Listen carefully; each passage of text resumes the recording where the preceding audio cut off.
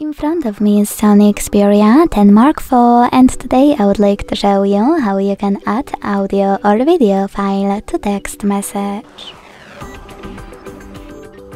Begin by launching messages and selecting or creating a chat. Then click on this icon of a camera and the photo at the bottom left corner. Look for your video file and add it by clicking on it. If you can't find it here, select folders at the top, look for it here and click on it as well.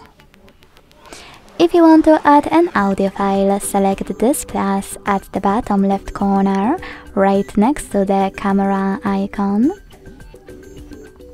Select Files and look for your audio file by hitting Audio at the top, selecting one of those apps or tapping on those three lines at the top left corner to pick one of those sources. Either way, after locating your file, just hold it and click on Select at the top right corner to attach it.